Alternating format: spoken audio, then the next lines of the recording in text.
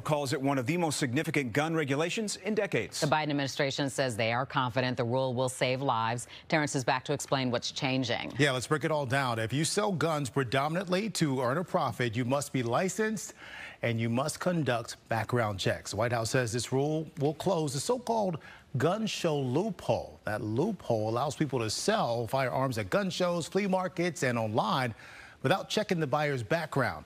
Then those guns wind up in the hands of people who aren't allowed to have them. Now, this is all happening because Congress passed the bipartisan Safer Communities Act of 2022 last year.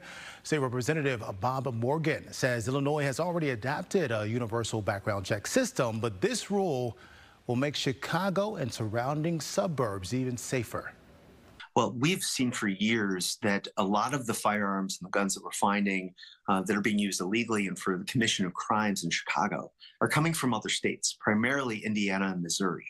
One of the reasons they're coming from those states is because they have much less stringent restrictions and regulations around who has access to a gun and how many guns. There may be challenges to this new rule in court. The NRA says background checks don't stop criminals from getting guns. But the Biden administration is confident the regulation will hold up. It's expected to go into effect in about 30 days.